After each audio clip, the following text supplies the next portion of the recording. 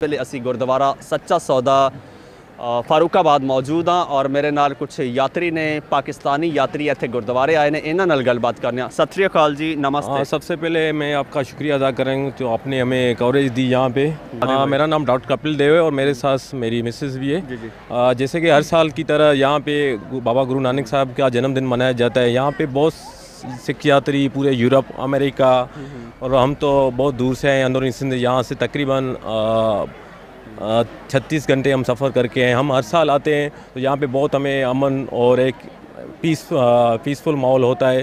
तो ये हमारी एक यात्रा होती है, जैसे एक मुस्लिम से में होती है, हज़रत वसल्लम, लाइक यहाँ पे भी हमारी एक यात्रा होती है। जैसे आप लोग जाते हैं वहाँ पे काबा में यहाँ पे भी एक हमारी ये यात्रा की तरह मनाया जाता है। और यहाँ पे बहुत हर चीज़ की फैसिलिटी होती है किसी चीज़ की भी हमें दुशारी नहीं होती। अच्छा। तो बाबा गुरु नानक साहब का ये फाइव फिफ्टी थ्री जन्मदिन मनाया जाता है बहुत धाम धूम के साथ। और यहाँ पे बहुत लोग आते हैं आ, पूरे सिंध कराची इस्लामाबाद फैसलाबाद हर जगह से आते हैं। तो ये आप यहाँ पे आ चुके हो? मैं तो मतलब जितनी मुझे याद है मैं दस बार आ चुका हूँ यहाँ पे। अच्छा हाँ। ठीक है। तो मिसेज भी साथ आती हैं। डॉक्टर साहब आपके क्या हाल चाल है? हाँ मैं ठीक हूँ। बिल्कुल मैं फ़र्स्ट टाइम आई हूँ आप भी डॉक्टर हैं? जी नहीं नहीं मैं डॉक्टर अच्छा। नहीं हूँ। ठीक है। तो यहाँ पे मोस्टली पाकिस्तान में डॉक्टर की बेबी को डॉक्टर ही कहते हैं। जी जी। आप कहते हैं। हाँ जी जी। आप फ़र्स्ट टाइम आई हैं? जी नहीं नहीं मैं फ़र्स्ट टाइम मैं आती हूँ। अच्छा। जी जी। लेकिन शादी के बाद फ़र्स्ट टाइम जी जी शादी के बाद फ़र्स्ट टाइम नई नहीं हुई है शादी की? हाँ ऐसे समझ लो। समझ समझ लूँ मतलब भाई साहब। बस शादी समझो हमारे एक के बाद शादी मतलब एक मंथ के बाद शादी है। अच्छा अभी होनी है एंगेज है अच्छा जी। एक मंथ के बाद शादी होने वाली है। अच्छा। तो और फैमिली भी आई है या हाँ फैमिली भी है मेरे भाई भी है मेरी बहनियाँ भी आई है सारी फैमिली आई है। हर साल हम पूरी फैमिली यहाँ पे लेके जाते हैं क्योंकि हमारे यहाँ पे एक आ, बहुत अमन मिलता है मतलब इनर पीस जिसे कहते हैं वो हमें यहाँ पे मिल जाता है। तो यही उम्मीद है कि यहाँ पे हम हर साल की तरह आएँगे।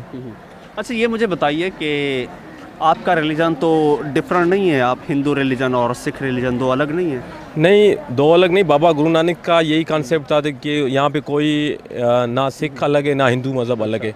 तो बाबा गुरु नानक साहब बेसिकली वो तो एक उसने इंसानियत का एक लकब दिया था। क्योंकि उसके नज़र में ना कोई मुस्लिम ना हिंदू सब बराबर थे।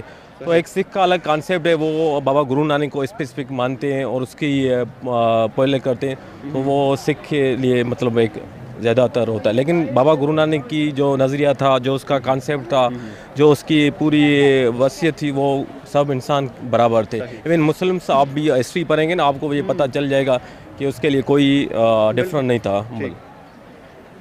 अच्छा ये बताइए कि हिंदुओं का सॉरी सिखों का मैंने यहाँ से इन्हीं लोगों से सुना है कि वो उनकी जो मैरिजेज होती है क्योंकि आप लोगों की भी होने वाली है। तो उसी से रिलेटेड बात कर लेते हैं।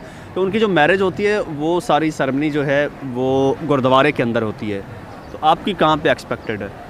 हाँ हमारी तो भी गुरुद्वारा में ही होती है। जस्ट लाइक हमारा एक अपने गाँव का मंदिर? हाँ मंदिर। गुरुद्वारा? मंदिर गुरुद्वारा मंदिर एक चीज़ है। मेरे हिसाब से कोई फ़र्क